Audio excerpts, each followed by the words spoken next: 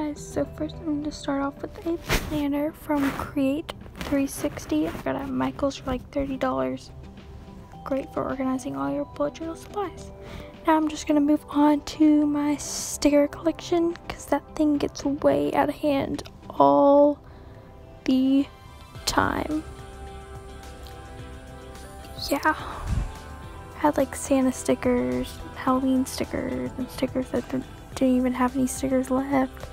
We're just gonna add that to the big pocket.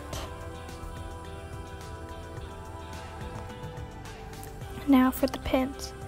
Let me just like say that I have a lot of pins. That's an understatement. I have a ton of pins. It's ridiculous. I love pins. Of my favorite type of, types of pins would be Papermate Flair pins, Tombow dual tip brush pins, I think that's how you say it, and Crayola super tip pins.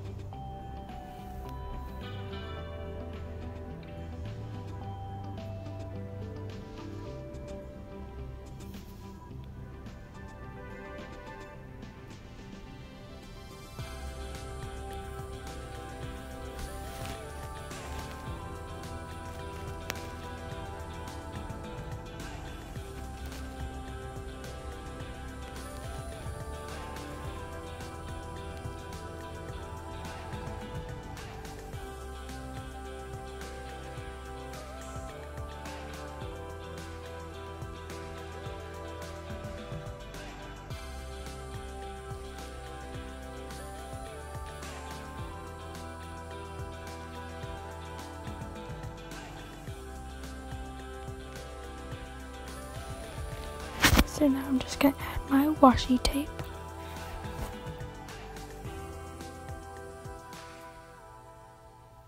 And some scissors, a ruler, and a book with like important dates in it, like Martin Luther King's birthday and my friend's birthdays and stuff like that. And we're at my bullet journal and we're done.